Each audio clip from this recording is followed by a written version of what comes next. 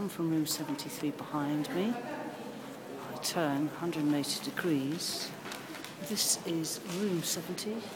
And what I want next is the Portland vase on the right.